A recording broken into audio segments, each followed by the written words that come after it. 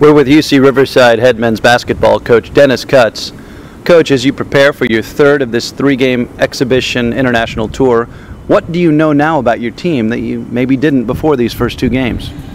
Well, they're enjoying playing with each other. Uh, they, they really have embraced uh, kind of a mentality, uh, what we're looking for offensively. So, uh, kind of define themselves individually in some roles, but uh, the format of play offensively has really uh, been comfortable to every one of them, and that's been the, probably the most exciting part of it. Let's talk about some of the individual student athletes. There were some guys that had never put on uh, any uniform saying Riverside and played for the Highlanders before. Uh, the newcomers, Standifer and the, the freshman Finley. How do you feel about how they've done?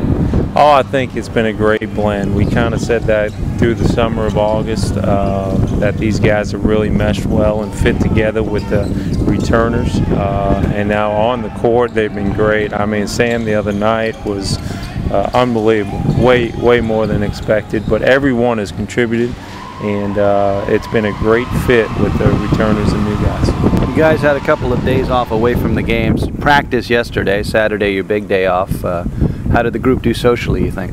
Oh, it's been really fun to watch them interact with each other. Every time I look up, there's a different kind of group of guys mixing.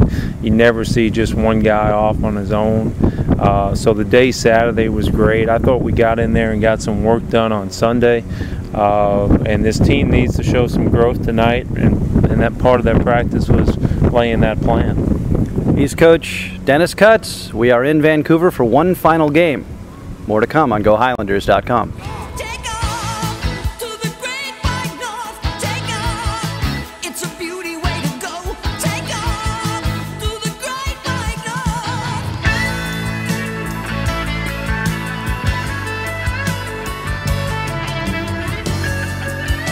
Now everybody's gone. Good so, day. Good day.